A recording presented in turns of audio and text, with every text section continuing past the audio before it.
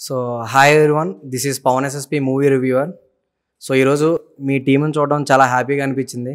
So first of all advance happy congratulations to all so ఇంకా ఇకపోతే నాకు ఏం లేదు. క్వశ్చన్స్ అన్నవి మనం ఈరోజు అంతా వచ్చింది క్వశ్చన్స్ అడగడానికి వచ్చాం. సో నెమ్మ నెమ్మదిగా క్వశ్చన్స్ అడుగుతాం సో దీనికి ముందు ఒక్కసారి హీరో గారు ఒకసారి మూవీ టీంతో జనరల్గా మీకు ఏమన్నా కా అంటే ఆల్మోస్ట్ ఈ సినిమా ఎప్పుడో షూట్ అయింది జనరల్గా ఎప్పుడో కంప్లీట్ అయిపోయింది.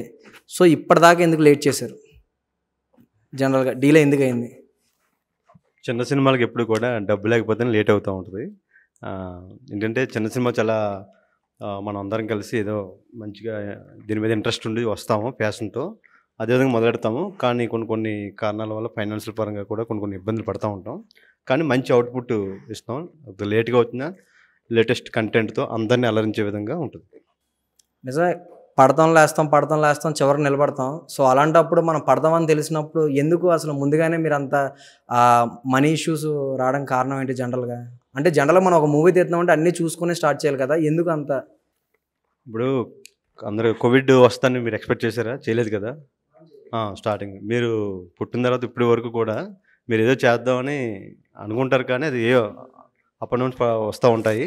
ఎన్నో సమస్యలు వస్తూ ఉంటాయి. కానీ మీరు అనుకున్న గోల్ని రీచ్ అవుతారు కాబట్టి అదేవిధంగా ఒక పరుగు పందు ఉన్నా సరే అందరూ నేనే గెలుస్తాను నెంబర్ వన్గా అని అనుకుంటారు. అదేవిధంగా ఏంటంటే సినిమా అన్నది స్టార్ట్ చేస్తూ ఉంటాము. కొన్ని కొన్ని టెక్నికల్ ప్రాబ్లమ్స్ రావచ్చు ఫైనాన్షియల్ ప్రాబ్లమ్స్ వచ్చి ఏదైనా సరే చివరికి మనం అనుకున్న అవుట్పుట్ని ప్రజలందరికీ ఆడియన్స్ అందరికీ రీచ్ అయ్యేలాగా మనం జూలై సెవెంత్ని థియేటర్లోకి రెండు రాష్ట్రాల్లో వస్తుంది.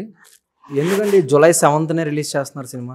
ఇంకా చాలా డేస్ ఉన్నాయి. అవి కాక ఇది వరకు చూసుకున్నట్లయితే చాలా డేట్స్ ఏం లేదు. నేను పెట్టుకున్న టైం అది. జూలై సెవెంత్ని సెవెన్ మూవీస్ ఉన్నాయి.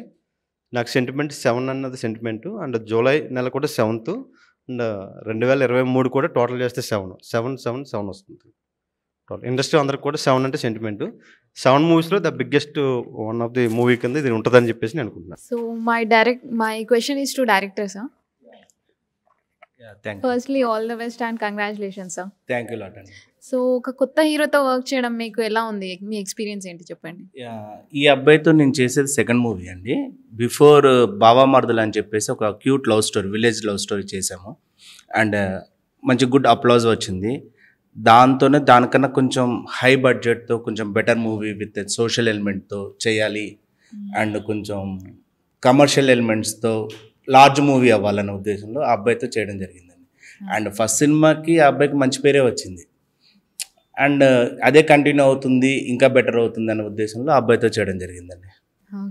you. సార్. గుడ్ ఆఫ్టర్నూన్ అందరికీ. Uh, నేను శివాని. అండ్ ఈ క్వశ్చన్ హీరో గారికి.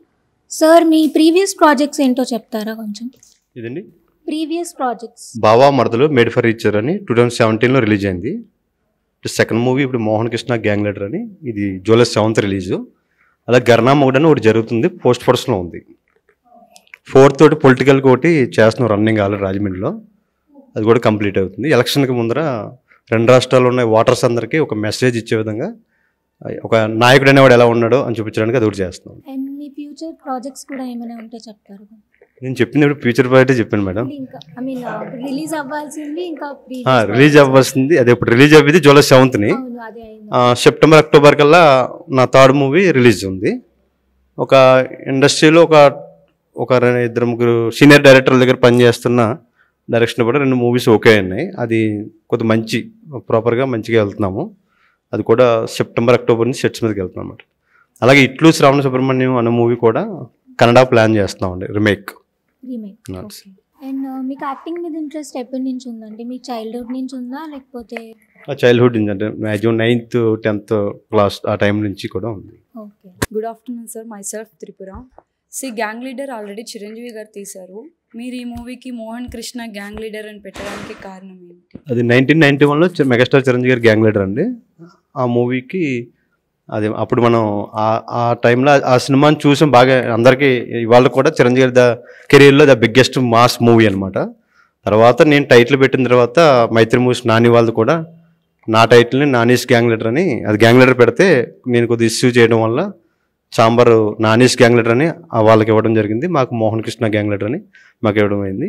ఇప్పుడు వాళ్ళది లాస్ట్ టూ ఇయర్స్ బ్యాక్ వాళ్ళది రిలీజ్ అయింది. మేము ఇప్పుడు రీసెంట్గా మాకు కోవిడ్ వల్ల మేము సెకండ్ వేవ్లో స్టార్ట్ చేసాము అందుకని బాగా లేట్ అయింది.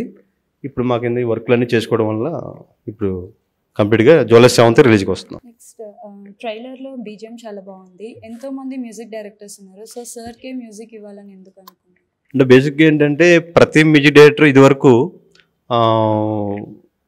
మ్యూజిక్ డైరెక్టర్లు అందరూ కూడా ఏంటంటే మనం ఒక ఒక సాంగ్ బయటకు వస్తుంది అంటే దానికి మొత్తం టోటల్ అంతా కూడా కర్త కర్మక్రియ అంతా మ్యూజిక్ డైరెక్టరే.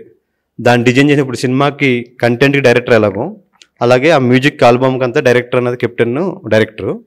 ఒక లిరిక్ లిరికిస్ట్ అంటే పెద్ద పెద్ద నౌన్ పర్సన్ సింగర్స్ని ప్లస్ లిరికిస్ట్ని మనం ఎప్పుడైతే సెలెక్ట్ చేసుకుంటామో అప్పుడు ఆటోమేటిక్గా ఆడియన్స్ అందరూ కూడా దాన్ని రీచ్ అవుతుంది. మంచి ఆడియో కంపెనీ. అండ్ మంచి లిరికిస్టులు మంచి సింగల్ పెట్టడం వల్ల ఉంటుంది. అంటే ఆయన ఇంచుమించు ఒక ఫోర్టీన్ మూవీస్ వరకు మ్యూజిక్ డైరెక్టర్ చేశారు. మంచి ఫ్యాషన్ ఉంది. అయితే నాకు అనుకున్నట్టుగా ఫ్రెండ్లీగా ఆయన ఉండటం వల్ల నాకు సెకండ్ మూవీ ఇంకో థర్డ్ మూవీ కూడా ఆయనకి ఇవ్వడం జరిగింది. ఎందుకంటే నెక్స్ట్ మూవీ కంటే అప్పుడు ఆయన అనుకున్న ఇప్పుడు కొంతమంది ఇప్పుడు ఇందులో ఫైవ్ సాంగ్స్ నేను లిరిక్స్ రాశాను. తర్వాత ఒక సాంగ్ వచ్చి ఐటమ్ సాంగ్ వేరే వాళ్ళు రాశారు. ఒక మంచి నెక్స్ట్ ఇచ్చి సినిమాలో మాత్రం ఒక మంచి బిగ్ సింగర్స్ని బిగ్ లిరికిస్ట్ని పెట్టి అండ్ ఒక మంచి టాప్ మ్యూజిక్ డైరెక్టర్ ఒక మణిశర్మ గారి లాగా ఓ చక్రి గారి లాగా ఇలా చూ చూడాలని నేను కోరుకుంటున్నాను. అందుకని ఒక ఫ్రెండ్లీ నేచర్తో అంటే ఒక నేను టెక్నీషియన్స్ అని కాకుండా నాకు ఎప్పుడు టచ్లో ఉంటారు. నాకు అటువంటి వ్యక్తి అంటే నేను నేను ఒక ప్రొడక్షన్ కంపెనీ అది SMK films banner my second movie నాకు ఒక టీం ఉండాలి. ఒక డాన్స్ మాస్టర్ కానీ ఇప్పుడు ఆయన మహేష్ అని ఆయన చేశారు మన కొరియోగ్రఫీ మొత్తం total six songs solo card ఇచ్చాం. ఒక డైరెక్టర్ డైరెక్టర్ అనేటప్పటికి ఆయనతో ఫస్ట్ సెకండ్ చేసిన లక్ష్మణ్ గారితో. థర్డ్ చేంజ్ ఉంటుంది. ఇంకొక మూవీ ఉంటుంది కానీ ఒక మ్యూజిక్ డైరెక్టర్ ఒక డాన్స్ మాస్టర్ ఫైట్స్ కూడా ఒక మనకి ఐదు ఫైట్లు ఉన్నాయి. రామ్ శంకర్ అని. మీకు అన్ని పెద్ద పెద్ద మూవీస్ చేస్తాం మన ఛత్రపతి హిందీ వినాయక్ గారి మూవీ కూడా ఆయన చేశారు. ఇప్పుడు ఆల్రెడీ కొరటాల శివగారిది కూడా చేస్తున్నారు. ఇంకా ఆయన ఏంటంటే ఇప్పుడు మనకు అలా పర్మనెంట్ టెక్నీషియన్స్ నాకంటూ ఉంటే నా బ్యానర్కి నాకు నాకు ఈజీ అవుతుంది. అంటే ఎవరు వచ్చినా సరే ఆర్టిస్టులు మారుతూ ఉంటారు. డైరెక్టర్లు మారుతూ ఉంటారు. టెక్నీషియన్ నాకు ఒక ఎడిటర్ పాపారావు గారు అని ఒక ఆయన ఉన్నారు. ప్రవీణ్ పుడి గారు అసిస్టెంట్.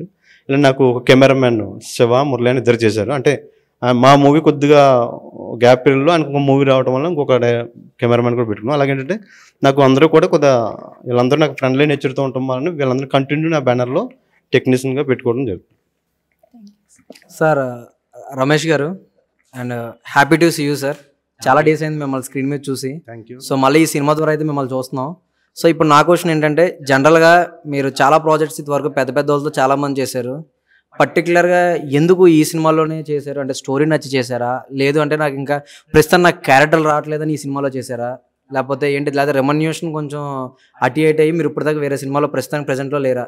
ఇవి నాకు ఈ మూడు క్వశ్చన్లకు ఆన్సర్లు ఇచ్చారు సార్. మీరు సినిమాలు చూస్తుంటారు అన్ని? డెఫినెట్లీ అండి. ప్రతి శుక్రవారం మాకు అదే పని. చేస్తారు. లాస్ట్ ఇయర్ కర్ణ అని ఒక సినిమా రిలీజ్ అయింది చూసారా అర్జున్ కర్ణ్. కర్ణ. అనే movie last same last Friday release అయింది. సంజయ్ థర్టీ ఫైవ్ ఎంఎంలో ఆడుతుంది. ఐమాక్స్ థియేటర్లో ఉంది. దాంట్లో నేను సెకండ్ లీడ్ చేశా. అంటే వన్ ఆఫ్ ద హీరో. దాని ప్రమోషన్స్ కూడా చేశాం చాలా. అంతకుముందు ఈఎంఐ అని ఒక సినిమా రిలీజ్ అయింది. ఈఎంఐ. హంగామా అని ఒక ఓటీటీ ప్లాట్ఫామ్లో రిలీజ్ అయింది. దానికి ముందు ఇంక అఖండ చూసే ఉంటారు మీరు. సో నాకు గ్యాప్ రాలే ఎక్కడ? యాత్ర అవన్నీ ఓల్డ్ ఇప్పుడు ప్రజెంట్ రన్నింగ్ బోయపాటి గారితో జరుగుతుంది. ఇప్పుడు ర్యాపో అని ఒక సినిమా అయిపోయింది. ఇప్పుడు పుష్ప టూలో షూటింగ్ జరుగుతూనే ఈ ప్రెస్ మీట్కి వచ్చాను నేను. నైట్స్ జరుగుతూ ఉంది. సో అందరూ అన్ని సినిమాలు చూడరు కాబట్టి చూసే సినిమాల్లో మీరు చూసే సినిమాల్లో కనపడకపోతే ఆర్టిస్ట్ లేడు అనుకోకూడదు ఫస్ట్. తర్వాత ఈ సినిమా నేను చేయటానికి కారణం మా లక్ష్మణ్ గారు డైరెక్టరు మా మోహన్ గారు హీరో. ఎస్ఎంకే బ్యానర్ పెట్టి రెండో సినిమా తీస్తూ ఒక పోలీస్ క్యారెక్టర్ ఒక సిఐ క్యారెక్టర్ ఉంది. మీరు గడ్డం అలాగే ఉంచినా పర్లేదు మాకు రగ్గుల్ లుక్ కావాలి మీరు చేస్తారా అని అడిగితే నేను పోలీస్ క్యారెక్టర్ చాలా తక్కువ చేశా. ఇన్స్పెక్టర్ క్యారెక్టర్లో. అందుకు డిఫరెంట్గా ఉంటుంది. నేను చేసే రొటీన్ క్యారెక్టర్లో డిఫరెంట్గా ఉంటుందని ఫస్ట్ ఒప్పుకున్నాను. నేను చేస్తానన్న తర్వాత కథ చెప్పారు వీళ్ళు.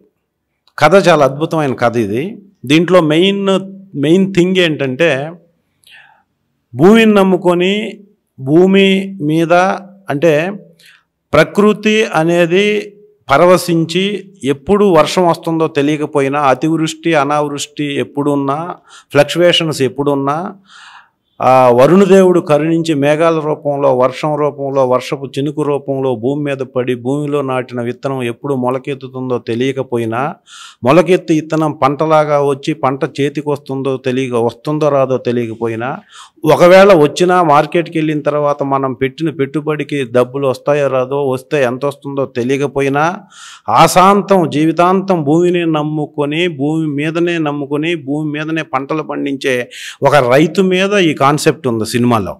ఆ రైతు గురించి తీస్తున్న ఒక మెయిన్ థ్రెడ్లో సినిమా మొత్తం కథ అంతా అల్లుకున్నారు వీళ్ళు. అది ఫస్ట్ పొలిటికల్ ఉంటుంది యూత్ ఎంటర్టైనర్ ఉంటుంది యాక్షన్ ఫైట్స్ ఉంటాయి అన్నీ ఉంటాయి. కాకపోతే మెయిన్ థీమ్ రైతు చుట్టూ తిరుగుతుంటుంది. ఆ రైతు కుటుంబం నుంచే వచ్చాడు ఇతను బేసిక్గా. ఆ రైతు మీద కాన్సెప్ట్ అన్న తర్వాత డెఫినెట్గా ఏదన్నా ఏ వేరే సినిమా ఉన్నా ఆ డేట్లలో ఈ సినిమా చేయాలని అనుకొని ఆ ఇన్స్పెక్టర్ క్యారెక్టర్ ఆ సిఐ క్యారెక్టర్ చేశాను ఈ సినిమాలో. సో అది ఆ క్యారెక్టర్ చేయటానికి ఇప్పుడు ఎవరు నువ్వు సినిమా తీస్తా నాకు ఒక క్యారెక్టర్ ఉందన్నా నేను క్యారెక్టర్ చేయటానికి ఇక్కడ ఉన్నాను కాబట్టి ఐ క్యాన్ డూ ఎనీథింగ్ కాకపోతే కొంత self satisfaction character job satisfaction ఒకటి ఉంటుంది. అలా జాబ్ సాటిస్ఫాక్షను అయి జాబ్ సాక్షన్ ఫీల్ అయ్యి చేసిన సినిమా ఇది. సో ఈ ఎస్ఎంకే బ్యానర్ మీద జూలై ఏడవ తేదీన అద్భుతంగా తెలుగు రాష్ట్రాల్లో ఎక్కువ థియేటర్లో రిలీజ్ కాబోతున్న మోహన్ కృష్ణస్ గ్యాంగ్ లీడర్ని తెలుగు సినీ అభిమానులందరూ ఆదరించి ఈ బ్యానర్కి ఒక సక్సెస్ని ఇస్తారని మళ్ళీ ఇలాంటి వాళ్ళు సినిమా చేస్తే ఒక యాభై అరవై మంది నాన్ స్టాప్గా అరవై డెబ్బై రోజులకు ఫీడింగ్ ఉంటుంది. యూత్లో నుంచి వస్తున్న ఈ యంగ్స్టర్స్ని కష్టపడి పనిచేసే తత్వం ఉన్న ట్రస్ట్గా అంటే నిజాయితీగా తీసిన ఈ సినిమాని మీరందరూ అంటే తెలుగు ప్రజలందరూ విజయవంతం చేస్తారని ఆశిస్తూ జూలై ఏడవ తేదీ వెయిటింగ్ ఫర్ థియేటర్స్. సో ఖచ్చితంగా అవుద్దండి. ఏదైతే మీరు చెప్పారో సినిమా బాగుంటే ఆటోమేటిక్గా సక్సెస్ అనేది అదంటే వస్తుంది. సో మీకు స్టోరీ చెప్పినట్టయితే మీకు నచ్చింది అంత ఓకే అన్నారు. కానీ నేను నా క్వశ్చన్ ఏంటంటే పెద్ద సినిమాలు ఇప్పుడు పుష్ప టూ అన్నారు ఇప్పుడు వస్తుంది. సో అది అప్కమింగ్ కాబట్టి ఓకే. అంటే గ్యాప్లోనే చిన్న సినిమాలు చేశారు ఈఎంఐ అని.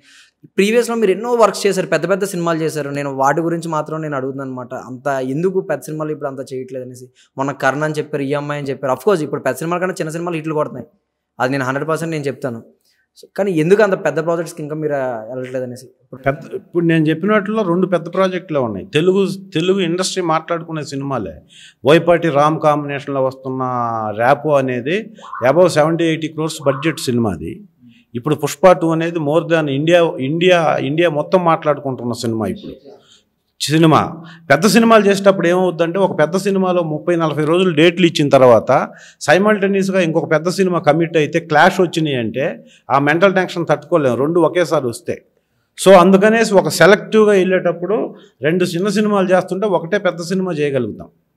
అన్ని పెద్ద సినిమాలు చేస్తున్నప్పుడు డేట్లు క్లాష్ వస్తే ఇండస్ట్రీలో బ్యాడ్ అయిపోతాం. ట్వంటీ ఫైవ్ ఇయర్స్గా అంటే నైన్టీన్ నైన్టీ ఎయిట్ సెప్టెంబర్లో మొదలైన ఫస్ట్ సినిమా సీతారామరాజు నుంచి ఈరోజు చేస్తున్న పుష్ప రెండు వందల ముప్పై ఒకటవ సినిమా నాది. ట్వంటీ ఫైవ్ ఇయర్స్ ఈ లాంగ్ కెరీర్లో ఎక్కడ ఇండస్ట్రీలో ఒక రెడ్ మార్కు బ్లాక్ మార్కు లేకపోవటం వల్లనే ఇంత లాంగ్ రన్లో కెరీర్ కొనసాగింది. టాప్కి వెళ్ళామా లేదా అనేది పక్కన పెడితే టాప్కి వెళ్ళినా పడకుండా ఉండాలంటే క్యారెక్టర్ కాండక్ట్ ముఖ్యం. ఆ క్యారెక్టర్ని కాపాడుకుంటూ వస్తున్న ప్రాసెస్లో వచ్చిన ప్రతి సినిమాని చేయడానికి అవదు ఆర్టిస్ట్కి.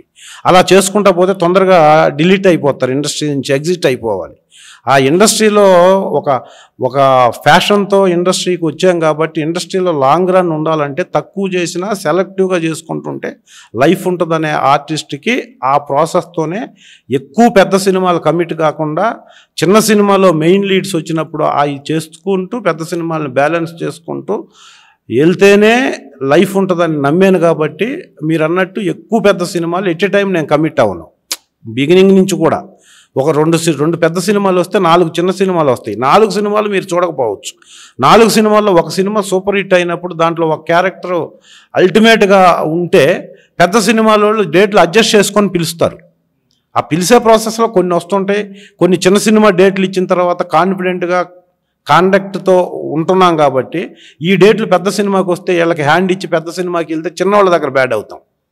సో ఒకసారి కమిట్మెంట్ వచ్చిన తర్వాత పెద్ద సినిమా వచ్చినా చిన్న సినిమా చేస్తున్నప్పుడు దాన్ని కంప్లీట్ చేయాలి.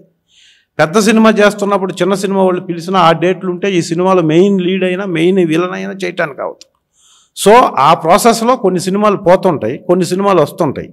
వచ్చినా పోయినా ఆర్టిస్ట్ అన్నవాడు కాన్ఫిడెంట్గా క్యారెక్టర్తో ఉండాలి. ఆ క్యారెక్టర్ని నమ్మి నేను ఇండస్ట్రీకి బ్యాక్గ్రౌండ్ లేకుండా వచ్చాను కాబట్టి అదే క్యారెక్టర్తో ఉన్నాను కాబట్టి కొంత టైంలో పెద్ద సినిమాలే అల్టిమేట్గా మూడు నాలుగు వస్తాయి. కొన్నిసార్లు పెద్ద సినిమాలు లేకుండా చిన్న సినిమాలే వస్తాయి. ఆ వచ్చిన చిన్న సినిమాలు హిట్ అవ్వకపోవచ్చు. కాకపోతే ఇప్పుడు లక్కీగా మాకు ఓటీటీ ప్లాట్ఫామ్ ఉంది కాబట్టి జనాల దగ్గర ప్రతి సినిమా రీచ్ అవుతుంది. బాగున్న సినిమాని అందరూ చూస్తున్నారు. ఆర్టిస్ట్కి వచ్చే రికగ్నైజేషన్ అయితే పెరుగుతుంది. Thank you so much sir. మాకు ఏంటంటే జనరల్గా మాకు ఇవి ఇంత బ్యాక్గ్రౌండ్ అంతా మాకు తెలియదు ఇంత హిస్టరీ ఉంటుందని.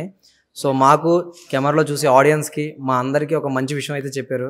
నిజంగా చాలా మంచి మ్యాటర్ సార్. నిజంగా మీకు క్లాప్స్ చెప్పాలి. చాలా బాగా మంచి మెసేజ్ అయితే ఇచ్చారు. Thank you so much sir hi sir sir ఇప్పుడు ట్రైలర్ రిలీజ్ అయ్యి వన్ ఇయర్ అవుతుంది కదా. సో ఈ ఇప్పుడు రిలీజ్ చేయడానికి ఇంత గ్యాప్ ఇచ్చి రిలీజ్ చేయడానికి ఏమైనా రీజన్ ఉందా? ట్రైలర్ రిలీజ్ చేయడానికి అంటే ఇప్పుడు నేను చెప్పిన ఇందాక మీకు చెప్పిన కరోనా కారణంగా ఇప్పుడు రాధేశ్యామ్ ఉంది. ఆర్ఎఫ్సీలో ఒక రిలీజ్ ఫంక్షన్ పెట్టారు. తర్వాత ఒక వన్ ఇయర్ గ్యాప్ వచ్చింది. మనం ప్రకృతి సిద్ధంగా ఎన్నో మనకి విధ్వంసాలు జరుగుతూ ఉంటాయి దాన్ని మనం ఏం చేయలేం.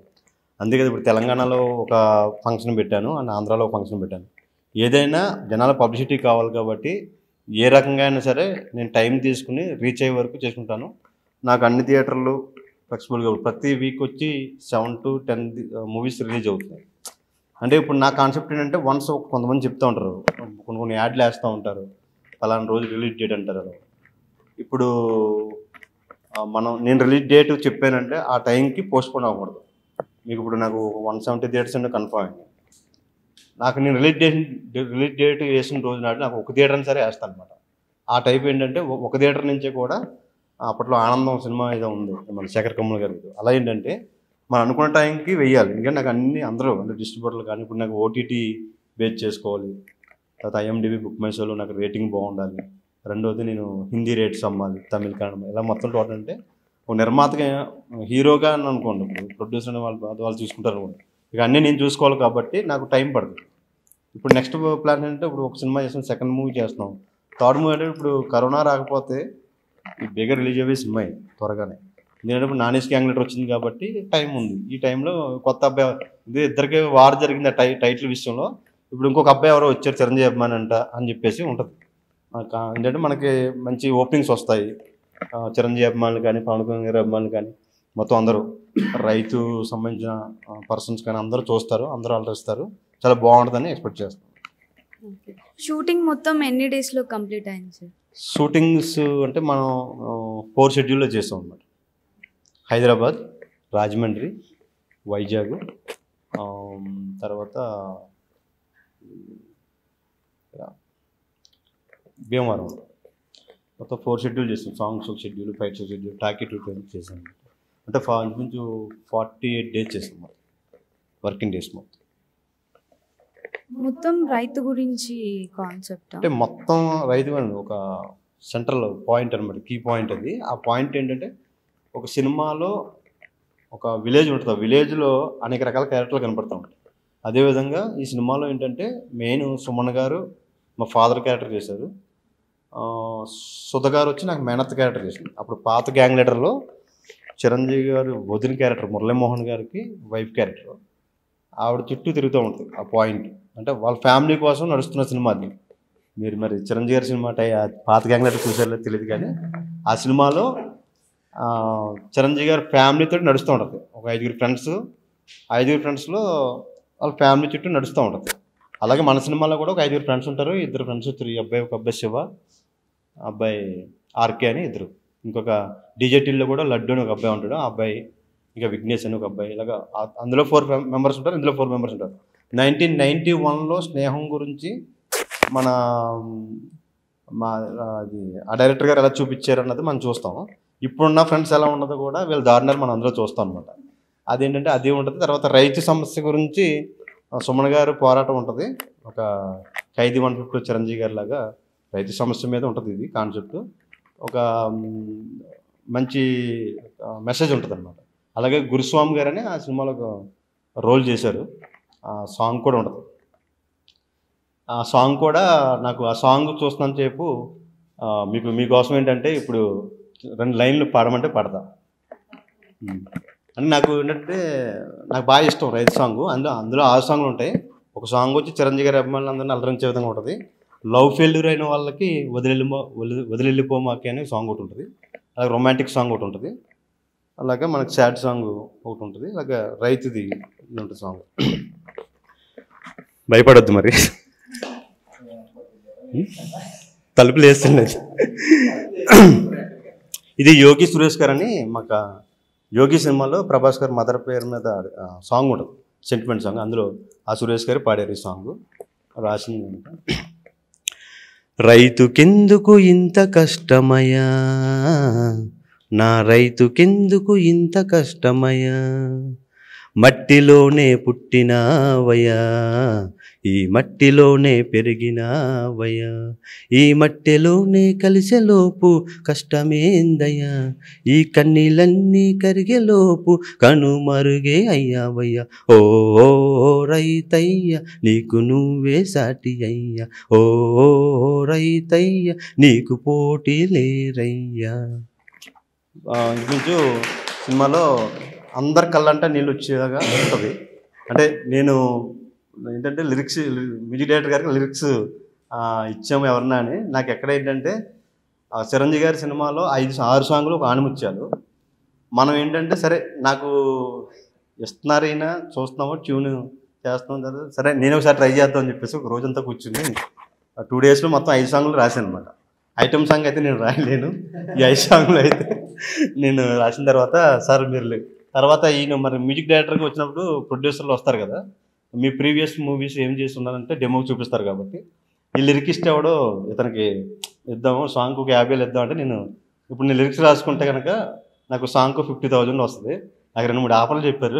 నా పని అది కాదండి అని చెప్పేసి అన్నాను. ఇక ఒకసారి మ్యూజిక్ డైరెక్టర్ గారు ఆయన మాట. సార్ మ్యూజిక్ డైరెక్టర్ గారు సార్ మీ పేరేంటో తెలుసుకోవచ్చు? యాక్చువల్లీ ఎంత పేరు చెప్పారు కానీ నేను వెళ్ళలేదు.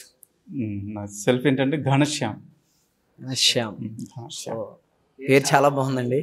సో ఇకపోతే ఈ దీనికి మ్యూజిక్ అయితే వా- చేశారు కదా. సో మీరు ఎప్పుడైతే ఈ సినిమాకి మ్యూజిక్ ఇచ్చారో ఈ కొన్ని పర్టికులర్ సీన్స్ అని ఉంటాయి కొన్ని ఎమోషనల్స్ ఉంటాయి కొన్ని ఇవి ఉంటాయి. సో కొన్ని మ్యూజిక్స్ యాజ్ ఎ డైరెక్టర్గా ప్రొడ్యూసర్గా మీ మ్యూజిక్ సాటిస్ఫై వరకు చేయించుకున్నారా? లేదంటే మీరు ఆ సీన్ తగ్గట్టు ఆ లైన్కి తగ్గట్టు ఆ స్టోరీ తగ్గట్టు మీరు ఇవ్వడం జరిగిందా? మళ్ళీ చేంజెస్ ఏమైనా చేశారా జనరల్గా స్మాల్ చేంజెస్ ఉంటాయి కంపల్సరీ ఉంటాయి. అంటే ఖచ్చితంగా మరి అంటే మీరు ఇలా అనుకున్నారా? ఏట్రా బాబు ఎంత కష్టపడి ఎంత చేస్తే మళ్ళీ ఇలా ఇలా అని?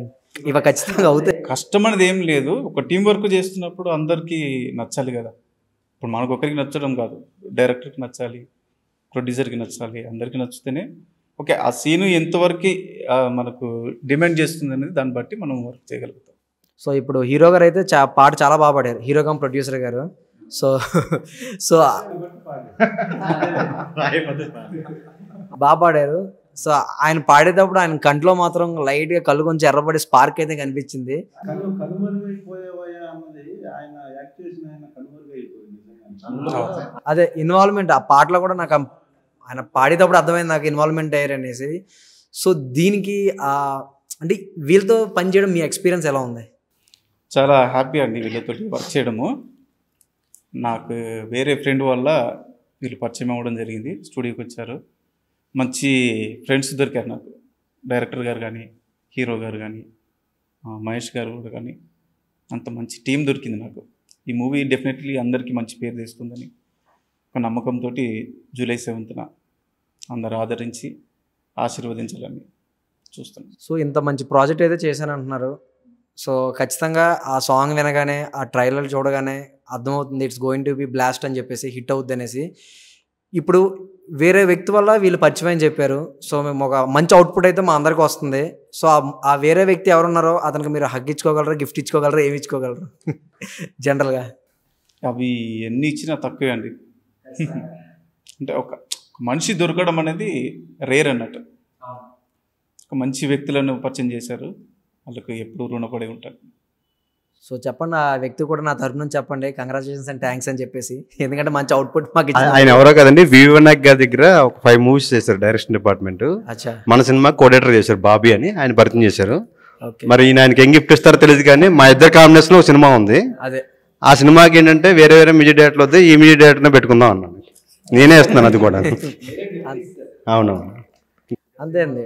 టాలెంట్ ఎవరి సొత్తు కాదు టైం కదా బయటకు వచ్చేటుంటుంది ఈ రూపంలో ఎటు నుంచి వద్దో తెలీదు. Hi sir. First of all all the best చాలా ఇయర్స్ తర్వాత మళ్ళీ గ్యాప్ కొంచెం తీసుకొని మళ్ళీ ట్రైలర్తో వచ్చారు ఇంకా. సో ఈ మూవీలో ట్రైలర్ చూస్తే ఫైట్ సీన్స్ ఉన్నాయి. అవి మీరు రియల్గానే చేశారా లేక డూపా రియల్ గానే చేసాం అన్నట్టు రియల్ ఏంటంటే బేసిక్గా అలాని కాదు. ఇందులో అంటే టాకీ కెమెరాస్ వచ్చండి. ఫైట్ మాస్టర్ వచ్చి రామ్ శంకర్ అని మంచు మనోజ్ వాళ్ళ ఫ్యామిలీకి మొత్తం ఎంటైర్ ఆయన ఫైట్ మాస్టర్. అర్జున పాల్గొన ఇవన్నీ పెద్ద సినిమాలు చేస్తారు ఆయన. చాలా ఫ్రెండ్లీ నేచర్ అందరినీ బాబాయ్ బాబాయ్ అంటూ ఉంటారు. ఇప్పుడు కూడా ఆల్రెడీ ఫైట్స్ ఉన్నారు ఇప్పుడు. ఈ సినిమాలో వచ్చి ప్రతి ఫైట్కి ఒక టెన్ మెంబర్స్ ఉంటారు ఫైటర్స్. అయితే ఆ, డూబులు అలాంటివి ఏం లేదు కానీ నాకేంటంటే ఫైట్స్ వచ్చేటప్పుడు పూనకం వస్తాం లక్ష్మీనరసింహ పూనకం లాగా. ఫైటర్స్ అందరూ కూడా అన్నారు మెచ్చుకున్నారు. ఏమండి ఏదో ఒక ఫైవ్ సిక్స్ మూవీ చేసిన ఎక్స్పీరియన్స్ అది చేస్తున్నారంటే నాకు అందులోకి నాకు మాస్ అంటే ఇష్టం. నాకు లవ్ స్టోరీలు ఇటువంటి నాకు పడవు. అంటే నాకు ఫైట్స్ అంటే ఎక్కువ అంటే నాకు శ్రీహరి గారి మూవీస్ మేము ఎక్కువ చూసేవాళ్ళం అప్పట్లో. స్కూల్స్ కాలేజ్కి వెళ్ళే టైంలో శ్రీహరి గారు అంటే ఏక ఫైట్లే ఇంక మొత్తం. అండ్ నాకేంటంటే ఇప్పుడు అలా ఫైట్స్ ఉన్న సినిమాలు ఏమి రావట్లా. నా సాయి కుమార్ గారి గట్రా వచ్చి కానీ నాకు ఫైట్స్ అంటే బాగా ఇష్టం. నేను ఫైట్స్ చేశాను. ఐదు ఫైట్లు ఉన్నాయి ఇందులో. ఇందులో ఒక్క ఫైట్ కూడా బాబాయ్ నీ మీద గ్యాంగ్ లీడర్ అనేటప్పుడు థియేటర్కి వెళ్ళేటప్పుడు మాస్ ఎక్స్పెక్ట్ చేస్తారు ఐదు ఫైట్లు thirty minutes only mass footage మీకు హిందీ రేట్స్ కూడా మాకు టూ డేస్లో బిజినెస్ అది కూడా ఫిఫ్టీ ల్యాక్స్ అవుతుంది. ఓన్లీ హిందీ రేట్స్ అంటే ఏంటంటే మనకి ఒక్క ఒక్క విలన్ కూడా ఒక రౌడీ కూడా నన్ను కొట్టడం లేదనమాట. అంత అన్ని పగలగొట్టించాడు మొత్తం టోటల్ ఇంకేంటంటే నాకు ఈ టీత్స్ కూడా కదిలినాయి అనమాట. ఫైట్ సీక్వెన్స్ ఒకటి. ఈ చంప వాచ్లు పగిలినాయి అబ్బాయిని కొట్టిన లాస్ట్లో ఉంటాయన్నమాట ఫైట్స్ అయితే బాగా వచ్చినాయండి. మీకు సినిమా థియేటర్లో మాత్రం ఈ టూ అవర్స్లో ఏంటంటే ఫస్ట్ నుంచి ఎండింగ్ వరకు అంటే నేనేమంటున్నా అంటే అందరికీ టోటల్ మొత్తం సినిమా ఇండస్ట్రీలో ఉన్న సినిమా ప్రేక్షకులందరికీ చెప్పేది ఏంటంటే మూవీ చూస్తాకెళ్తున్నప్పుడు ఒక రెండు రకాల విజన్లతో వెళ్ళాలి. అంటే ఈ వ్యూతో వెళ్ళాలన్నమాట. ఏంటంటే ఇప్పుడు నా మూవీ చూస్తాకి వెళ్తున్నప్పుడు మీరు ప్రభాస్ గారిని జూనియర్ ఎన్టీఆర్ గారిని రామ్ చరణ్ గారిని చిరంజీవి గారిని ఈ బ్యానర్లు ఈ ప్రొడ్యూసర్లు పెద్ద ప్రొడ్యూసర్లు హీరోలను ఉద్దేశించి మాత్రం థియేటర్స్ మా సినిమా చూస్తాకి వెళ్ళకూడదు మమ్మల్ని చూస్తాకి వెళ్తున్నప్పుడు నా ఫస్ట్ సినిమా ఉందనుకోండి. ఒక చిత్రం సినిమాలో ఉదయకరణ సినిమా చూస్తున్నట్టుగానే వెళ్ళాలి. తర్వాత ఒక జయం సినిమాలో నితిన్ గారిని చూస్తున్నట్టుగానే వెళ్ళాలి. అప్పుడు వెళ్తేనే మీకు కంటెంట్ అర్థమవుద్ది. వీడి బ్యానర్ ఏంటి? వీడి ప్రొడక్షన్ వాల్యూస్ ఏంటి? వీళ్ళు వీళ్ళ ఆర్టిస్టులు ఏంటి? వీళ్ళ వీళ్ళు ఎంత బడ్జెట్లో చేశారు? ఈ మైండ్ సెట్తో మీరు వెళ్తే కనుక ఈ గ్యాంగ్లీటర్ మూవీ ఓకే బాగా చేశాడు అనిపిస్తుంది. మీరు నలభై కోట్లు వంద కోట్లు పన్నెండే మూవీలు సినిమాలు చూసేసి అంటే ఇందు గాల్లో ఫైట్లు ఇలా రకరకాల సీజీలు ఇవన్నీ ఎక్స్పెక్ట్ చేయొద్దు. జెన్యున్గా వెళ్ళి చక్కగా ఒక ఈ అబ్బాయి చేశాడు కొత్తగా వచ్చాడట. ఈ టైప్లో చూస్తే మాత్రం మీకు హండ్రెడ్ పర్సెంట్ మీ అందరికీ హృదయాలకు హత్తుకునే విధంగా అన్ని రకాల హంగులు ఇందులో ఉంటాయి. ఇన్స్పిరేషన్ అంటే నేను చిరంజీవి గారు అని చెప్తాను. అంతే. చిరంజీవి గారు అభిమాని. అంటే సినిమా ఇండస్ట్రీలో అన్ని సినిమాలు చూస్తా. నాకు ఖాళీ ఉన్నప్పుడల్లా వీకెండ్ అన్ని సినిమాలు చూస్తాను.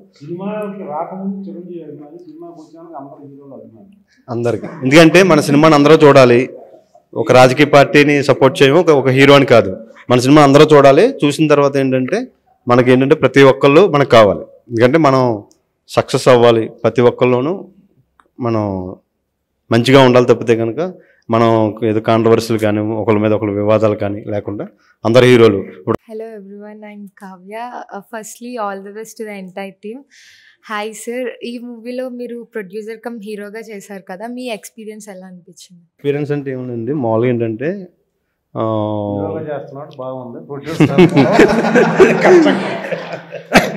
కానీ ఏంటంటే మనం ఇష్టపడ్డ ప్రొఫెషన్ ఇది.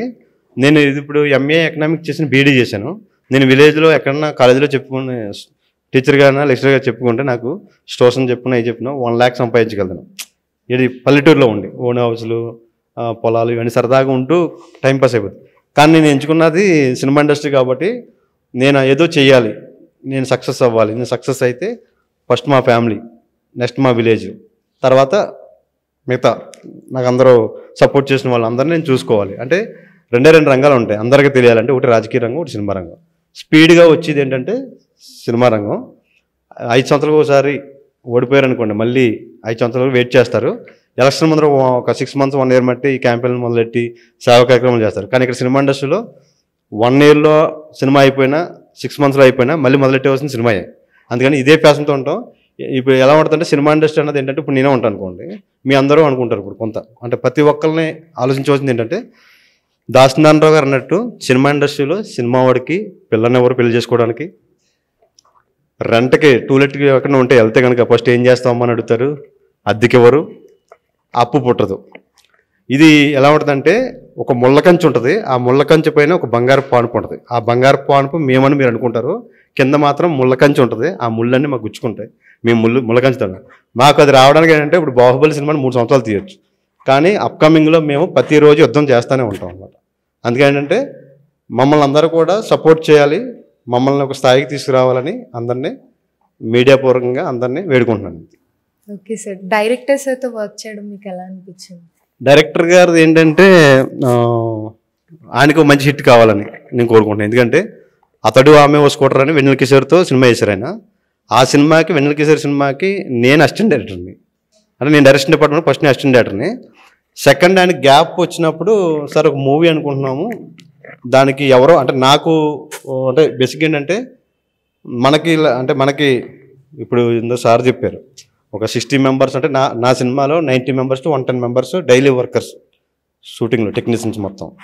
ఇప్పుడు నాకు ఆ- రోజు ఫుడ్ పెట్టినదంటే ఇప్పుడు నేను ఇప్పుడు వర్క్ చేసినప్పుడు అసిస్టెంట్ చేస్తున్నప్పుడు నాకు శాలరీ ఇస్తారు కదా నాకు పదిహేను వేలు అంత శాలరీ ఇచ్చారు. ఆ సినిమా మీద నేను రెండు లక్షలు మూడు లక్షలు సంపాదించి ఉంటాను ప్రీ ప్రొడక్షన్ నుంచి సినిమా రీజ్ వరకు. మరి నాకు అన్నం పెట్టిన డైరెక్టర్కి నేను సినిమా ఇవ్వడం నా నా గురుదక్షిణ అనుకోవచ్చు.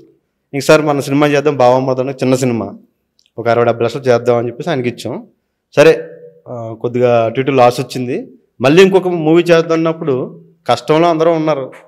మళ్ళీ ఇప్పుడు రేపు కోవిడ్ టైంలో కూడా మ్యూజిక్ డైరెక్టర్ కానీ డైరెక్టర్ గారు కానీ అందరూ ఇబ్బందులు ఉన్నా కూడా నెక్స్ట్ మళ్ళీ నేను ఫండింగ్ ఏర్పాటు చేసినప్పుడు మరి వాళ్ళందరినీ వదిలేసి నేను మళ్ళీ ఇంకో సినిమా ఎందుకు? ఇప్పుడు రమేష్ గారు కూడా నాకు వచ్చారు గౌరవంతో. ఆయన అంటే నాకు ఇష్టం నేను అంటే ఆయనకి ఇష్టం. రేపు నేను మూవీ చేస్తున్నాను. సార్ ఇన్ని రోజులు వర్కింగ్ డేస్ ఉంటాయి. సార్ మీ అమౌంట్ ఎంత ఇవ్వగలను నేను మాట్లాడుకుంటాను అనమాట అంటే ఆ ర్యాప్ మాకు ఉండాలి కాబట్టి నేను సుఖ నేను కష్టాలు ఉన్నప్పుడు నాకు కూడా ఉన్నప్పుడు కూడా నేను నేను ఎదుగుతున్నప్పుడు కూడా నన్ను ఎవరైతే ఎంకరేజ్ చేసి అందరిని గుర్తుపెట్టుకుని మళ్ళీ నేను నెక్స్ట్ మూవీలో కంటిన్యూ చేయాలన్నది నేను నా పాలసీ డైరెక్టర్ గారు? సార్ చాలా బుద్ధిగా కూర్చున్నారు మీరు బుద్ధిమంతుడే. చెప్పండి. బొట్టు పెట్టుకొని చాలా వినయంగా కూర్చున్నారు సైలెంట్గా. ఇప్పుడు జనరల్గా డైరెక్షన్ అంటే మొత్తం ఏ టు జెడ్ చాలా పెద్ద పని. హీరోలు ఏముందో? యాక్టింగ్ చేసేది వెళ్ళిపోతూ ఉంటారు. డైరెక్టర్ చాలా పెద్ద అటువంటిది. అంత పెద్ద స్క్రిప్ట్ని ఆయన మీద జనరల్గా అతను డబ్బులు పెడుతున్నారని మీరు తీసారా? లేదంటే అతను సెట్ అవుతారని మీ కథకు మీరు పెట్టుకున్నారా? ఫస్ట్లీ థింగ్ కథ నాది కాదండి. నాకు ప్రొడక్షన్ హౌస్ నుంచే కథ వచ్చింది. వచ్చినాక ఫస్ట్ మేము అనుకున్న పాయింట్ సమ్ సోషల్ ఎలిమెంట్ మీద ఒక సబ్జెక్ట్ చేద్దాం. అది కూడా రైతుల మీద సబ్జెక్ట్ అని చెప్పినప్పుడు దాని డెవలప్లో నేనున్నాను. సో మొత్తం బాండ్ స్క్రిప్ట్ అయ్యే వరకు హీరో ఎవరు మిగతా టెక్నీషియన్స్ ఎవరు ఏంది ఏమనుకోలేదు. ఫస్ట్ స్టోరీ కంప్లీట్ అవ్వాలి. స్టోరీ కంప్లీట్ అయిపోయిన దాని తర్వాత నేనే సలహా ఇచ్చాను. మోహన్ ఫస్ట్ లవ్ స్టోరీ చేసావు కదా ఇది నువ్వే హీరోగా చేయి బాగుంటుంది అని. తన దృష్టిలో మాత్రం సందీప్ కిషన్ నాది అప్పుడు ఆ టైంలో ఆ హీరోస్ అనుకున్నాడు మనోడు. బట్ నా థింగ్ ఏంటంటే కథ రాసుకున్నాడు. ఒక ఎమోషన్ తనకు తెలుసు. తనే చేసుకుంటే ఇంకా బాగుంటుంది అనే ఉద్దేశంలో ఆ హీరోలు వెనక తిరగడం బదులు నువ్వే చేసుకో అని చెప్పి నేను సలహా ఇచ్చి. అలా మూవ్ అయ్యాం. మరి ఒకసారి ప్రూవ్ చేశారంటే మనం మనమే లేపుకోవాలి ఖచ్చితంగా. అండ్ థింగ్ ఏంటంటే అండి అబ్బాయి మంచి ఆర్టిస్ట్ బేసికల్లీ మంచి ఆర్టిస్ట్ అండ్ కసితో ఉన్నాడు ఏదన్నా మంచి ప్రాజెక్ట్ వస్తే ప్రూవ్ చేసుకుందాం అనే థింగ్లో ఉన్నాడు. సో ఆ కథను ఇతను బాగా నమ్మాడు. ఈ కథ ఎవరికి పడినా మంచి హిట్ పడుతుంది లేకపోతే తన కెరియర్ మారుతుంది అనేది ఇతను పదే పదే అంటూ ఉండేవాడు. అదేదో నీ కెరీరే మార్చుకో బాగుంటుంది కదా. అవునండి. చాలా మంచి సలహా అది. ఎందుకంటే మ- ఇప్పుడే చెప్పినట్టు మనం మనమే పుష్ చేసుకోవాలి ఒకరికొకరు సపోర్ట్ చేసుకోవాలి. సో ఇక్కడ పెట్టుకుంటే ఇంత మంచిగా జరుగుతున్న దానికి ఒక చిన్న గ్లామర్ అయితే మిస్ అయింది. హీరోయిన్ అయితే మిస్ అయింది. హీరోయిన్. సో హీరోయిన్కి మీకు ఏదో ఇష్యూస్ అయినాయి అని విన్నాను. లైక్ అంటే ఏమైనా ఇష్యూసా రెమనేషన్ పరంగా? లేదంటే ఏదైనా కమిట్మెంట్ అడిగారా? మీరు అడిగారా? డైరెక్టర్ గారు అడిగారా? అంటే జనరల్గా ఫిల్మ్ ఇండస్ట్రీలో ఏంటంటే అంటే మాకు తెలిసినవి ఇదివరకు ఇప్పుడు అంత లేదు ఇప్పుడు మేము కూడా ఇటు ఇటు దూరదాం కాబట్టి మాకు అంత అనిపించలేదు ఇదివరకు చూసుకుంటే ఒక అమ్మాయిని ఇండస్ట్రీకి పంపించాలంటే వద్దురా బాబు కమిట్మెంట్ అంటారని చెప్పి చాలా మంది పేరెంట్స్ భయపడుతూ ఉంటారు. సో అటువంటి సిచ్యువేషన్ ఏమైనా ఏర్పడిందా లేకపోతే ఏంటా అని? నేను డైరెక్షన్ డిపార్ట్మెంట్లో చేసేటప్పుడు నేను కూడా ఇలాంటి పుకార్లు వినేవాడినండి. ఓహో డైరెక్టర్ గారికి హీరోయిన్కి ఏదో ఉన్నట్టుంది లేదా ప్రొడ్యూసర్ గారికి హీరోయిన్కి ఏదో ఉన్నట్టుంది బట్ వాళ్ళ పర్సనల్ కమిట్మెంట్స్ వల్ల వాళ్ళు అందుబాటులోకి రాలేకపోయారు తప్ప అలాంటిది ఏం లేదండి. మెయిన్ ఫైనాన్షియల్ ఏంటంటే కొంచెం మేము అటు ఇటుగా లేట్ చేయడం ఒకటి జరగడం కానీ లేకపోతే వాళ్ళకున్న కమిట్మెంట్స్ వల్ల ఇప్పుడున్న సిటీలో లేకపోవడం వల్ల కానీ వాళ్ళు కొంచెం మాకు సపోర్ట్గా లేరు. అంతవరకు అయితే చెప్పగలను. కమిట్మెంట్లు గట్రా అని ఇవి ఇవన్నీ కూడా అట అట నేను నేర్చుకున్నది ఏంటంటే చాలామంది అంటారు కదా ప్రతి ప్రొఫెషన్లో ప్రతి ఫీల్డ్లోనూ మీరు అనుకునే విధానంలో ఉంటుంది. ఇది ఒక అమ్మాయి ఒక అబ్బాయి కలయిక అన్నది ఎక్కడైనా ఉంటుంది. కానీ నేనైతే కనుక నేను చెప్పింది ఏంటంటే కొన్ని కొన్ని అన్నీ కూడా రోమర్స్ అనమాట ఈ శ్రీరెడ్డి గారు వచ్చిన తర్వాత అంతా కూడా భయం పుట్టుకుందండి అది ఏంటంటే ఇన్నర్గా ఏం చేసినా కూడా పబ్లిక్ చేసి మొత్తం అంతా ఇలా చేశారు కాబట్టి నేనంటే ఏంటంటే నా మూవీలో ప్రతి ఇంటి ప్రతి ఆర్టిస్ట్ని మా ఇంటి అమ్మాయి కింద మా సిస్టర్ కింద చూసుకోవడం తప్పితే ఇప్పుడు మీకు ఫర్ డే వచ్చి ఫిఫ్టీ థౌజండ్ అనుకోండి. నేను ట్వంటీ ఫైవ్ థౌజండ్ ఇవ్వగలనమ్మా మీకు అని అంటాను నేను. ఎందుకంటే వాళ్ళతో ఎటువంటి మనం పెట్టుకోకూడదు ఎలిగేషన్ పెట్టుకున్నా సరే ఏం పెట్టుకున్నా ఎఫ్ఐఆర్లు పెట్టుకున్నా నాకు ప్రాజెక్ట్లో నాకు అంత టైం ఇప్పుడు ఒక అమ్మాయి ఉందనుకోండి ఆ అమ్మాయితో నేను ఏదైనా ఎఫ్ఐఆర్ పెట్టుకున్నాను అనుకోండి తను నేను మన ఫ్రెండ్ అయిపోతాను కదా బాగా. సార్ అనేది కూడా మోహన్ అని పిలుస్తాను అనమాట అప్పుడు షూటింగ్కి టూ అవర్స్ లేట్ వచ్చింది అనుకోండి వీళ్ళందరూ నన్ను ఏమనరు నేను ప్రొడ్యూసర్ కాబట్టి. అప్పుడు నేను ఏం చేస్తానంటే వీళ్ళందరినీ నేను ఏం చెప్పాలో నాకు తెలియక నేను ఆ సె- ఆ సెట్లో నేను బ్యాడ్ అవుతాను అనమాట అందుకని ఏంటంటే సినిమా ఇండస్ట్రీలో కాదు బయట కూడా ఏంటంటే మనం ఒక సింహాసనం ఎక్కే వరకు కూడా ఎప్పుడైనా సరే ఒకటేనంటే మన ఇంట్లో మన వైఫే తప్పితే వేరే అన్నీ కూడా వచ్చి వెళ్ళిపోతూ ఉంటాయి. అవన్నీ కూడా వేస్ట్. మన గోల్ ఏదైతే ఉందో దాని మీద కాన్సన్ట్రేట్ పెట్టాలి కానీ ఇవన్నీ కూడా మా ఆఫీస్లో కూడా ఎప్పుడు కూడా ఫస్ట్ సినిమా కానీ సెకండ్ థర్డ్ మూవీ కూడా కోఆర్డినేటర్స్ ఉండరు. ఆర్టిస్టులు కోఆర్డినేటర్లు ఉండరు. ఇప్పుడు మనం ప్రతిదీ మూవీలు చూస్తాం కదా ఆ చిన్న సినిమాల్లో ఎయిటీ పర్సెంట్ సినిమాలు నా ఫ్రెండ్ సర్కిలే. ఒక మేనేజర్ అవ్వచ్చు కెమెరామెన్ అవ్వచ్చు డైరెక్టర్ అవ్వచ్చు ప్రొడ్యూసర్ అవ్వచ్చు హీరో అవ్వచ్చు. నాకు ఆ సినిమా చూసిన తర్వాత నాకు ఈ అబ్బాయి ఎవరు బాగా నచ్చాడు ఈ అబ్బాయిని కావాలని చెప్పి డైరెక్ట్ కాంటాక్ట్ ఉంటుంది నాకు. మా ఆఫీస్ ముందర ఒక వంద జత చెప్పులు మాత్రం ఉండవు. నాకు అదొక ఇరిటేషన్ అనమాట చూస్తాను ఎందుకంటే వాళ్ళు వస్తారు అక్కడ కూర్చుంటారు వాళ్ళ ఆఫీస్లో ప్రొడ్యూసర్ డైరెక్టర్ హోదాలో. నీ నెంబర్ ఇవ్వమ్మని ఫోటో ఇవ్వమ్మని వాట్సాప్ నెంబర్ ఇవ్వ అంటారు. ఈ చాటింగ్లు ఇవన్నీ చిరాకు అనమాట ఏంటి? పాప అమ్మాయి ఆశపడుతుంది. పోనీ ఎక్కడికి అక్కడ రమ్మంటే ఇక్కడ రమ్మంటారు సినిమాలు చికాలు ఇవన్నీ మనకు ఉండవు. ఎందుకంటే టైం వేస్ట్ అనమాట మనం ఎంచుకున్న రంగం కోసం మనం ఎంతోమందిని తిట్టించుకుని ఎన్నో రకాల అప్పులు బాధలు కష్టాలు పడి ఇక్కడికి వచ్చినప్పుడు మనం దానికోసం మన పేరెంట్స్ బాధపడకుండా మన ఊరోళ్ళందరూ మన మన రిలేటివ్స్ కానీ మన పేరే ఎక్కడ ఏదైతే చూపకుండా మనం చేయాలన్న తపంతో మనం ఉన్నాం కాబట్టి మా టీంలో మాత్రం అటువంటిది ఎటువంటిది కూడా ఉండదు. ఒకవేళ ఎవరన్నా అలాంటిది ఎంటర్ అవుతున్నా కూడా వెనక్కి లాగేస్తాం. జనరల్గా ట్రైలర్ చూసినప్పుడు నాకు బాగా నచ్చింది బీజియం బీజం చాలా బాగా నచ్చింది సార్. నిజంగా థ్యాంక్ యూ సో మచ్ ఒక మంచి బీజం అయితే అందించారు. ప్రతి సీన్కి ఆ ఎలివేషన్ షాట్స్ అయితే బాగున్నాయి. సో ఇందులో చూసుకుంటుంటే ఒక రైతుకు సంబంధించిన కాన్సెప్ట్ కనబడుతుంది. ఓటు గురించి ఒకటి కనబడుతుంది. దాని తర్వాత యాక్షన్ ఫైట్స్ కనబడుతున్నాయి. ఇంకా రొమాన్స్ సార్ ఆ కిస్ ఏంటంటే అలా పెడుతుంది జనరల్గా అంటే ఆ కిస్ మీకు ముందుగా ఎక్స్పీరియన్స్ ఏమైనా చేశారు? లేదా ప్రొఫెషనల్గా ఎలా చేశారు? అది డమ్మీ అనమాట అది రియల్ కాదు. అయితే ఏంటంటే లేదండి మామూలుగా అంతా డమ్మీ అలా కనపడుతుంది మీకు సీజీలో చేసాం అనమాట లేదు అంత రియాలిటీగా ఉంది. రియాలిటీగా ఉండదండి ఇప్పుడు సరే సాంగ్స్ విషయం వచ్చేటప్పటికి ఏంటంటే మంచి సాంగ్స్ ఇచ్చారు కదా ఆల్బమ్. ఇదో ఒక పెద్ద బ్యానర్. అయితే ఈ సాంగ్స్ని అందరూ కూడా టాప్ వన్లో ఉంచుతారు. నాకు ఇప్పుడు ఏంటంటే అంత పెయిడ్ ప్రమోషన్ ఉంటుంది కదా. ఒక సాంగ్స్ ట్రైలర్ వచ్చేటప్పుడు మాత్రం నాకు ఇంట్రెస్ట్ ఉండదు. ఇప్పుడు మ్యూజిక్ కంపెనీకి వెళ్తాం ఆడియో కంపెనీకి. వాడు ఫైవ్ ల్యాక్స్ త్రీ ల్యాక్స్ ఇస్తాడు. అదే ట్రైలర్ని మీకు టూ మిలియన్స్ కావాలి త్రీ మిలియన్స్ కావాలంటే మనం ఒక టెన్ ల్యాక్స్ మెంబర్స్ మన సాంగ్ చూసారంటే కనీసం వన్ ల్యాక్ మెంబర్స్ నా సినిమాని చూడాలి. చూడరు కదా? నేనేమంటే ఇప్పుడు నా నాది ఒకే వన్ డేనే six lakhs fifty thousand members చూశారు. నేను అక్కడ ప్రమో ప్రమోషన్ చేయను. ఇది సాంగ్స్ ట్రైలర్. జెన్యున్గా నేను ఇప్పటికప్పుడు నాకు ఏంటంటే సోషల్ మీడియా కానీ ప్రింట్ మీడియా ఎలక్ట్రానిక్ మీడియా మొత్తం మీ వెబ్సైట్లు అన్ని చేసినా కూడా నా హ్యాండ్తో నేను ఎక్కువ ప్రమోట్ చేయగలను. నా దగ్గర ఉన్న మూడు మొబైల్లో కూడా అన్ని రకాల గ్రూపులు క్రియేట్ చేస్తాను. ట్విట్టర్లో ఫేస్బుక్ ఇన్స్టాల్ మొత్తం అన్నీ కూడా. నా హ్యాండ్ ప్రమోషన్ ఎక్కువ ఉంటుంది అనమాట ఎందుకంటే నా దాంట్లో ఆరు లక్షల మంది చూశారు కదా. కనీసం టూ ల్యాక్స్ మెంబర్స్ వెళ్ళిన పర్లా. అంటే వచ్చిన ప్రతి అప్డేట్ చూస్తూ ఉంటారు. దాన్ని పేమెంట్ చేసి మన సినిమా సాంగ్ చేస్తాం దానికి పెట్టుబడి పెడతాం మళ్ళీ అది మ్యూజిక్ కంపెనీకి పంపుతాం మళ్ళీ వాళ్ళే ప్రమోషన్ కోసం ఇవన్నీ వేస్ట్ అనమాట జెన్యున్గా వచ్చే వ్యూసే కరెక్ట్. జెన్యున్గా ఎంతమంది రీచ్ అవుతుందో అదే కావాలి మనకి. అలా ఉంటే కనుక సక్సెస్ అవుతాం. ఎందుకంటే ఇప్పుడు మీరు రేపు ఓటీటీకి వెళ్తున్నాం అది ఇది అంటారు అందుకని. అవి ఎంతవరకు అన్నది మనకు కరెక్ట్ కాదు. ఎందుకంటే జెన్యున్గా నాకు వ్యూస్ రావడం అన్నది ఇంట్రెస్ట్ నాకు. నేను సాంగ్స్ ఆరు సాంగ్లు కూడా ట్రైలర్ కూడా ఒక్కొక్క సాంగ్ వచ్చి నలభై వేల యాభై మంది యాభై వేల మంది చూసినా అడిగారు చాలామంది. నాకు వద్దు. ట్రైలర్ ఓ six lakhs fifty thousand members చూశారు. ఇంకేమన్నా చేయాలా? వద్దు. ఎందుకంటే అవసరం లేదు. ఎందుకు? ఇప్పుడు నేను నా ఫీల్ అయిపోయి నాకు ఇంతమంది వ్యూస్ వచ్చాయని చూస్తుంది తప్పితే ఏముండదు. పది మంది చెప్పుకోవాలి. ఈ సాంగ్ బాగుందని అదే. కానీ నేను అడిగింది ఏంటంటే కిస్ పెట్టి. హీరో పెట్టలేదండి. హీరోయినే పెట్టింది. హీరో చాలా కష్టపడ్డాడు తప్పించుకోవడానికి కానీ హీరోయినే పెట్టింది. ఇప్పుడు సుమన్ గారు ఉన్నారు. జనరల్గా సుమన్ గారు మంచి ప్యాడింగ్ తీసుకున్నారు. సుధా గారు ఆమె కూడా మంచి ప్యాడింగ్ తీసుకున్నారు. జనరల్గా ఈ క్యారెక్టర్లకి వాళ్ళు సెట్ అవుతారని వాళ్ళని మీరు కాంటాక్ట్ అవ్వడం జరిగిందా? లేదు అనుకుంటే కొంచెం వాళ్ళకి సినిమాలు తక్కువ ఉన్నాయి కదా రెమ్యునరేషన్ కొంచెం తగ్గి తీసుకున్నారా అని? అయ్యో అట్లేం లేదండి. మేము కథ అనుకునేటప్పుడు ఒక సోషల్ ఎలిమెంట్ కథ పెద్దవాళ్ళు చెప్తేనే బాగుంటుంది.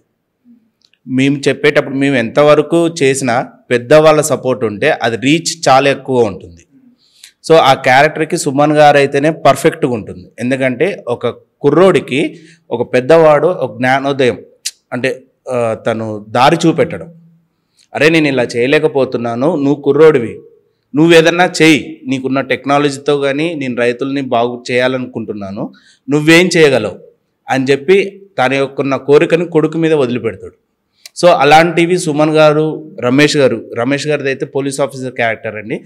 మీ ట్రైలర్ ఓపెన్ చేస్తే ఫస్ట్ సార్ వాయిస్తోనే స్టార్ట్ అవుతుంది. సో సినిమాలో తనకి కర్త కర్మ అంటే హీరో ఎలాంటి రూట్లో వెళ్ళినా తనకి సపోర్టివ్ క్యారెక్టర్ ఆ సపోర్టివ్ క్యారెక్టర్ అది ఎంత హైలైట్ అవుతుందంటే అండి లాస్ట్ క్లైమాక్స్లో కూడా సార్ వాయిస్తోనే ఒక హైప్ క్రియేట్ అవుతుంది. సో ఇవన్నీ సీనియర్స్ చేస్తేనే బాగుంటాయండి. అందువలన మేము ఈ సీనియర్ యాక్టర్స్తో మేము ముందడికి వెళ్ళాం మేము చెప్పాలనుకునే కథ పెద్దవాళ్ళ మధ్యలో చెప్తేనే మా మాట వింటారు.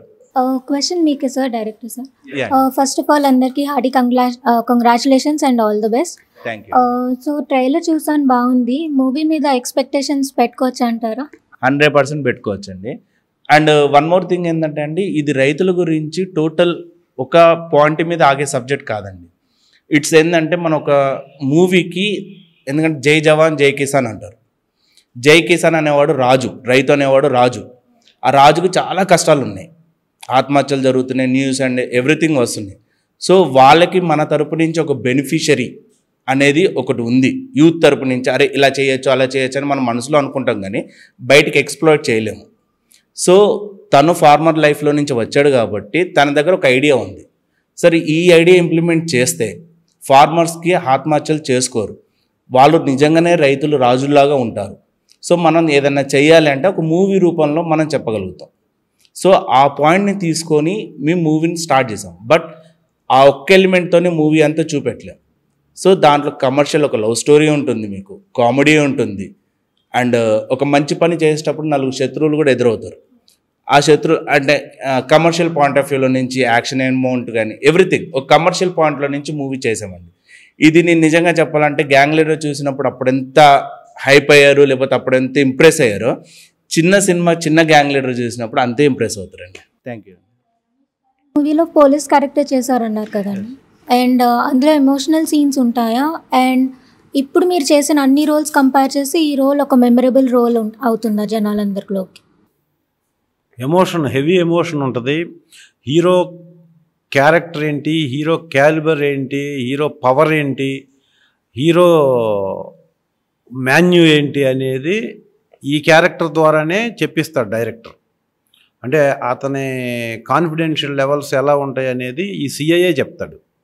సో అందుకోసమనే నాకు డిఫరెంట్గా ఉంటుందని నేను చేశాను నన్ను పెడితే డిఫరెంట్గా ఉంటుందని వాళ్ళు ఫీల్ అయ్యారు.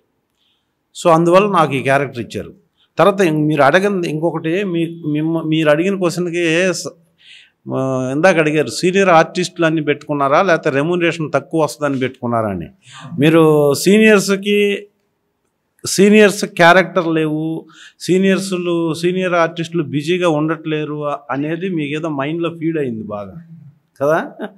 సుమన్ గారు గత నలభై ఐదు సంవత్సరాల నుంచి వెయ్యి సినిమాలు దాటి దాదాపు పన్నెండు భాషల్లో ఇప్పటికీ నటిస్తున్నాడంటే ఇందా చెప్పిన క్యారెక్టర్ అని ఆ క్యారెక్టర్ ఉన్న ఆర్టిస్టుల్లో సుమన్ గారు ఒకటి రెండు ప్లేసుల్లో వస్తాడు. ఆయన ఇప్పటికీ ఇలాగా వస్తున్న గ్యాంగ్ లీడర్ లాంటి సినిమాలు ఎంతోమంది యంగ్ డైరెక్టర్స్కి యంగ్ ప్రొడ్యూసర్స్కి చాలా సపోర్టివ్గా ఉంటాడు. ఉండటం వల్ల ఆయన పెద్ద సినిమాలు వదిలేసి కూడా చిన్న సినిమాల వాళ్ళకి ఎందుకంటే ఆయన చూడని పెద్ద సినిమాలు కాదు ఆయన చేయని పెద్ద క్యారెక్టర్లు కాదు. ఈ చిన్న వాళ్ళకి సపోర్టివ్గా ఉంటే వాళ్ళకి నేను ఏదో నా వంతు నేను హెల్ప్ చేసినట్టు ఫీల్ అనుకుంటారని చెప్పి ఆయన చిన్న సినిమాలు వదలకుండా ఎప్పుడు పది సినిమాలు షూటింగ్స్ చేస్తుంటాడు ఆయన. సో ఆ ప్రాసెస్లో వీళ్ళెళ్ళి క్యారెక్టర్ చెప్పగానే రైతు క్యారెక్టర్ ఎట్లా అంటే నేను చేస్తానని ఒప్పుకున్నాడు. కాబట్టి ఆయనతో చేయించారు. అంతకంటే పెద్ద క్యా పెద్ద ఆర్టిస్ట్తో చేయించలేరు. ఎందుకంటే ఆయన ఒకప్పుడు పెద్ద హీరో. అలాగే సుధా గారు కూడా. ఆమె తమిళ్ కన్నడంలో మలయాళంలో ఇప్పటికీ బిజీగా చేస్తున్నారు. ప్రసన్న కుమార్ గారు ఆ చంటిలో హీరో వెంకటేష్కి బ్రదర్గా చేసిన ఆయన ముప్పై ముప్పై ముప్పై ఐదు సంవత్సరాల నుంచి పాత గ్యాంగ్ లీడర్లో కూడా చేశారు. ఇలాగా ఏ క్యారెక్టర్ ఐడెంటిటీ ఉంటుందో అంటే సినిమాలో ఈ క్యారెక్టర్ని జనాలు ఐడెంటిఫై చేస్తారన్న ఏ క్యారెక్టర్ని అన్నోన్ పర్సన్స్ని పెట్టలే ఎక్సెప్ట్ ఫ్రెండ్స్ ఫ్రెండ్స్ అంటే ఈయన ఏజ్ గ్రూప్లో ఉండాలి చాలా రోజులు పనిచేయాలి కాబట్టి ఎప్పుడు పిలిస్తే అప్పుడు రావాలి. సో అందుకనే అది చేయగలిగిన వాళ్ళు క్యాలిబర్ ఉన్నగలిగి క్యాలిబర్ ఉన్న వాళ్ళని సెలెక్ట్ చేసి పెట్టుకున్నారు. ఎక్సెప్ట్ ఫ్రెండ్స్ ఈ సినిమాలో చేసిన ఒక్క సీన్లో చేసిన ఆర్టిస్ట్ కూడా వ్యూవర్స్కి సినిమా ప్రేక్షకులకి తెలిసినటువంటి చాలా సంవత్సరాల ఎక్స్పీరియన్స్ ఉన్న వాళ్ళని పెట్టుకున్నాడు. దానికి కారణం ఏంటంటే నేను హీరోని పొగిడితే ఆడియన్స్ కూర్చున్న వాళ్ళు కూడా ఆ హీరో చాలా గొప్పోడు అయి ఉంటాడు అని కింద కూర్చున్న వాళ్ళు ఫీల్ అవ్వాలి. ఫీల్ అవ్వాలంటే సినిమాలో చెప్పే క్యారెక్టర్ కూడా అంత డెప్త్ ఉండాలి.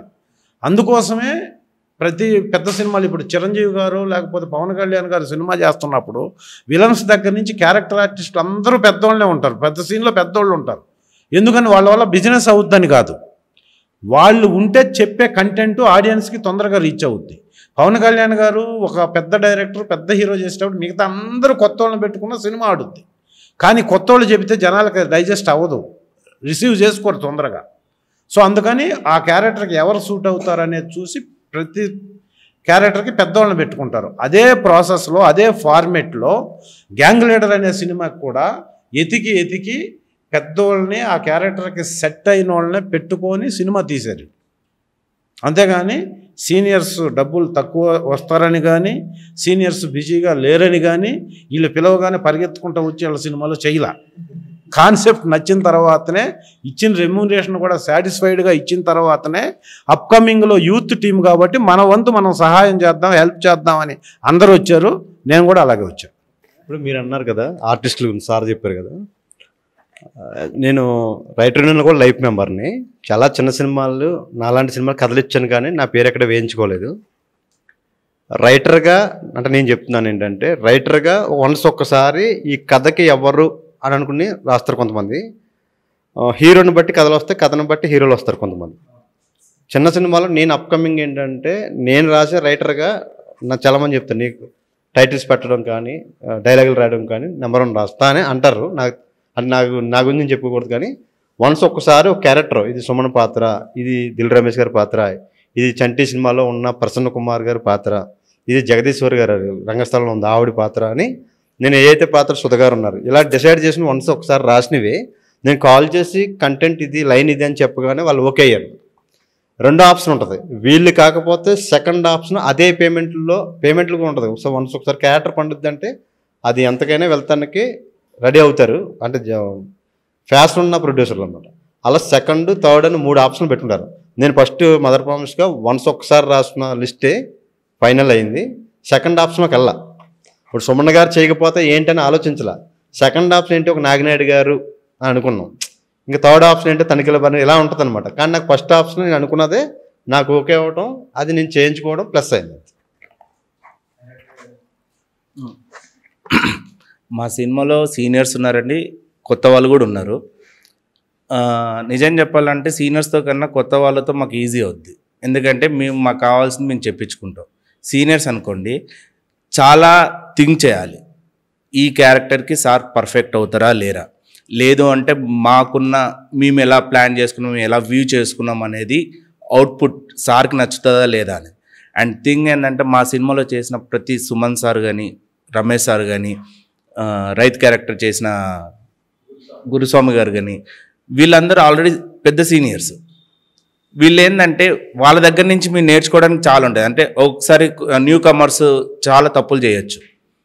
సుమన్ గారితో చేసినప్పుడు కానీ రమేష్ గారితో చేసినప్పుడు కానీ సార్ నేను ఇలా అనుకుంటున్నానంటే ఓకే దాన్ని ఇంప్రూవైజేషన్ దీనికోసం మాకు సీనియర్స్ కంపల్సరీ కావాలండి.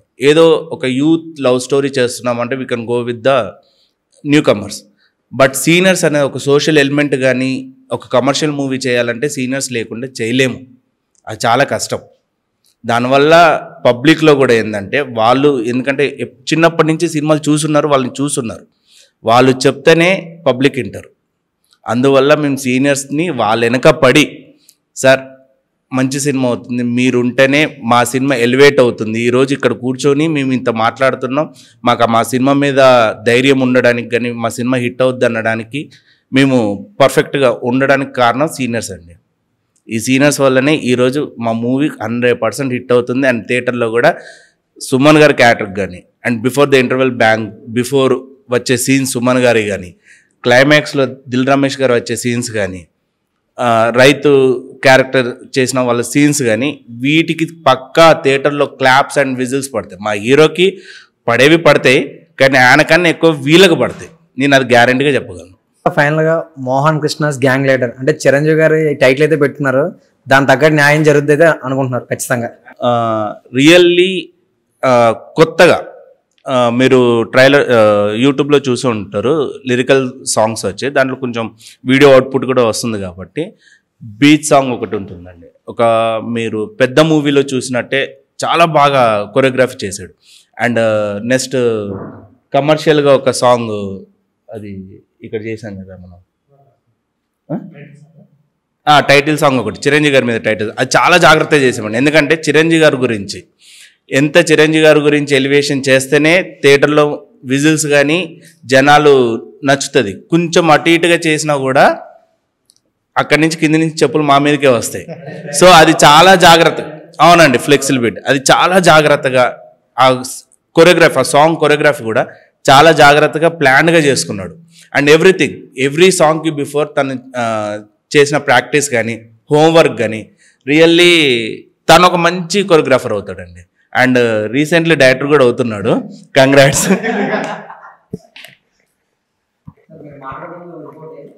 ఆ కిస్ కూడా మీరే కొరియోగ్రాఫ్ చేశారు?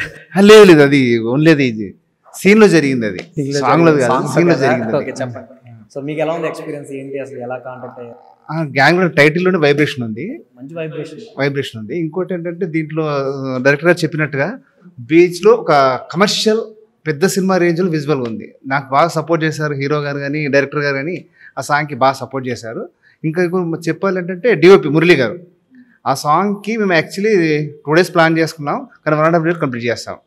డిపెండింగ్ ఆన్ ఆర్టిస్టులు ఆ లొకేషన్ ఆర్ట్ కానీ ప్లస్ మన డైరెక్టర్ గారు కానీ చాలా బాగా సపోర్ట్ చేశారు. తొందరగా అయిపోయింది.